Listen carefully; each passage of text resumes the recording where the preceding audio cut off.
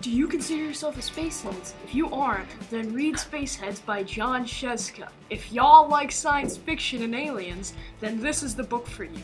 The main character, Michael K, wanted to be normal and have friends, aliens came to convince 3.14 million and one kids to be spaceheads. However, the Anti-Alien Agency, AAA, is picking up a signal that there are aliens in the area.